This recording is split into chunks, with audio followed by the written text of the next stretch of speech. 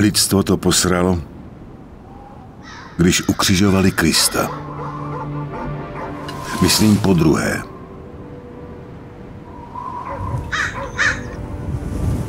Svět, jak ho známe, se začal rozpadat v prach. Nahradil ho nový.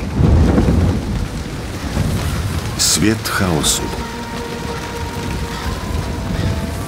Lidé začali uctívat nová božstva a svět brázdila stvoření, co bojovala o moc. To vše vedlo k největší bitvě našeho věku.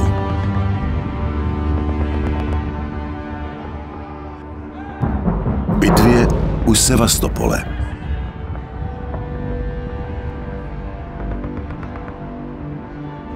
Toto je příběh z dob po krachu.